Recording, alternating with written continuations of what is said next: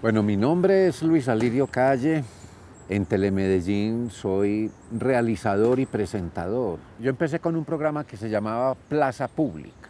Yo en Telemedellín he hecho muchos programas y yo recuerdo, el que más recuerdo de todos hasta ahora es la entrevista de la calle. Me parece muy bacano lo que la gente ha logrado con Telemedellín y yo lo siento. Es un reconocimiento que, que uno agradece a la vida porque pues eso, eso se lo da a uno el trabajo. La, la frase con la que Telemedellín se ha identificado durante los últimos años es aquí te ves. Y entonces una vez dos señoras discutían mirándome a mí, no, es que él trabaja en Telemedellín. No señora, él no trabaja en Telemedellín, él trabaja en aquí te ves.